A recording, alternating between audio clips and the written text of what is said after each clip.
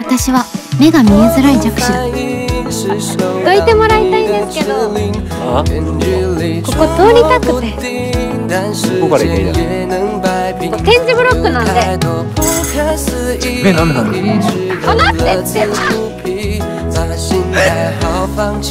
森尾は顔に傷がある傷あ大丈夫？顔に傷なんて大変じゃんすみませんでした。白状メロンパンってどこにあります？か姉貴。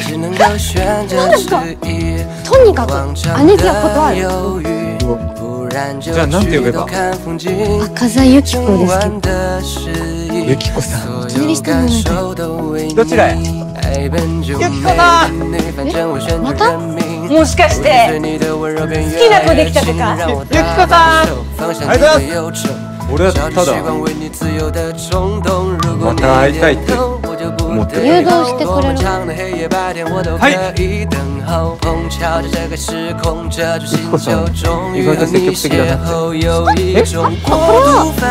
誘導？誘導俺の腕の10本や20本。いくらでも使ってくださいいくよ。はい。え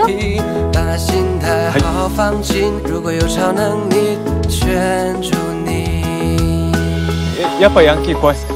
そこじゃない。待ち伏せがキモい。そっちですか？真面目に気持ち今の俺のユキコさんへの思い手紙に書いてきました。便箋20枚びっしりの長文になっちゃって。はい。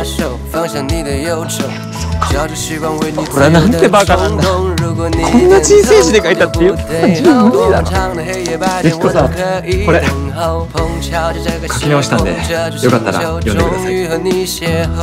ユキコさん。お供させてください俺じゃいけないよユキコさんと何やってんだよ。来れなくなればユキコさん一人で公園行けんだよ。なんでそこまで？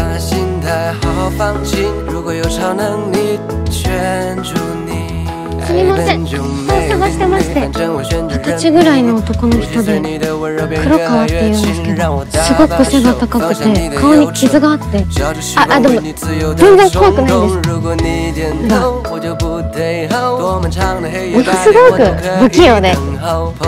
ユキコさん何にしますこういうとこだとメニューは見えないし私オレンジジュースどうしよっかなアイスコーヒーいやこのオリジナルスムージーっての気になるしなバナナと野菜とブルーベリーでも野菜が苦いから外すとして私バナナにしようかなコロコロしたちっちゃい食べ物こぼしても見えないから。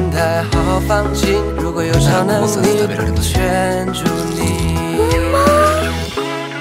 あと1枚で応募できるもしあのコーヒーが出たらバスに一人で乗ったことないしネジ町も行ったことない。ユキコさんの気持ち分かりたくてでもどうしてここに会いたいから。俺今日ゆきこさんに会えて嬉しいです。ゆきこさんは普通の世界で生きてるじゃないですか。めちゃくちゃかっこいいっす。